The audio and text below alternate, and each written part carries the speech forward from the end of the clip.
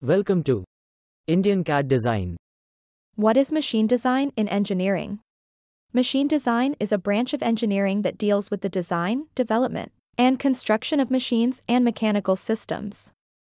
It involves the use of various principles and techniques, such as kinematics, dynamics, thermodynamics, and materials science,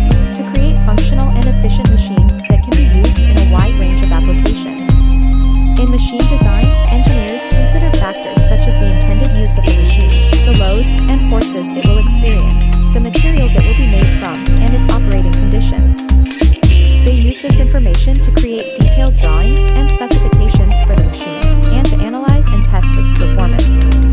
Some common examples of machines that are designed in this field include automobiles, airplanes, industrial machinery, and consumer products. Machine design also plays a role in the design of structures and buildings, as well as the development of new technologies in fields such as robotics and renewable energy. How to learn machine design? There are several ways you can learn course or program. Many universities and technical schools offer courses or programs in machine design. These can be in person or online and can range from certificate programs to associates, bachelor's, or even master's degrees. Study a textbook. There are many textbooks available on machine design that cover the fundamental principles